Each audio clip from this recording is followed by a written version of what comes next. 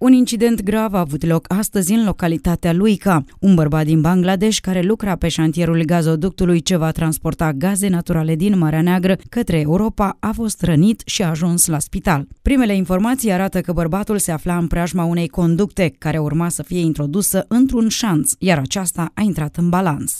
Când conducta a venit în direcția sa, bărbatul s-ar fi ferit, iar mai apoi s-ar fi împiedicat și a căzut cu capul de o altă conductă.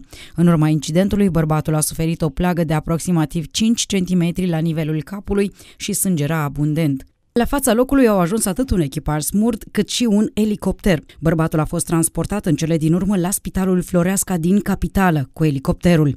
Polițiștii au ajuns și ei la locul incidentului și au deschis un dosar penal pentru nerespectarea măsurilor legale de securitate și sănătate în muncă. Pe fir a intrat și Inspectoratul Teritorial de Muncă din Călăraș, care face investigații și încearcă să afle cum s-a produs incidentul. La final, cercetările vor stabili dacă angajatorul se face sau nu responsabil de producerea acestui incident.